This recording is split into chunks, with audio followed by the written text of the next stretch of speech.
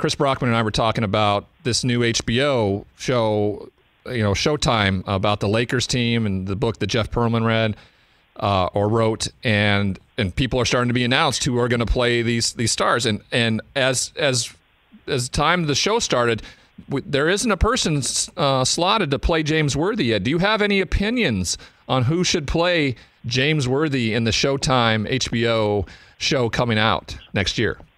Uh, maybe maybe I'm not in maybe I'm not in the movie, man. I might not be in the documentary. I don't know.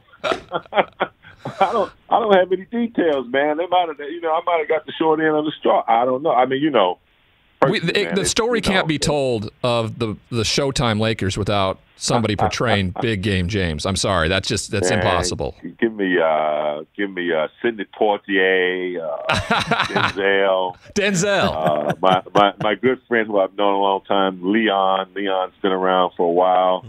Um, you know, I don't know, man. It'd be tough. It'd be tough. I don't know who even looks like me.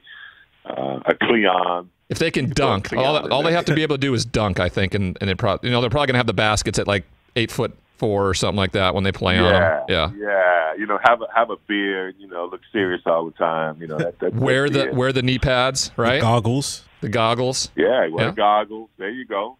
I like it. I like it. Hey, you watched all the way to the end. Thanks for that. Watch more right here.